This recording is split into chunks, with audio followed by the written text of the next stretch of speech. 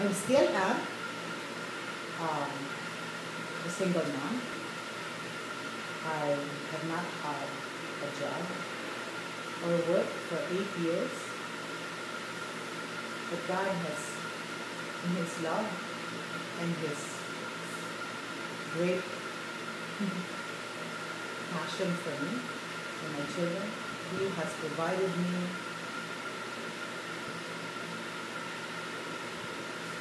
exceedingly, abundantly, overflow. I've never been in one. My children continue to go to the best schools. There's always food on the table. We get to travel far.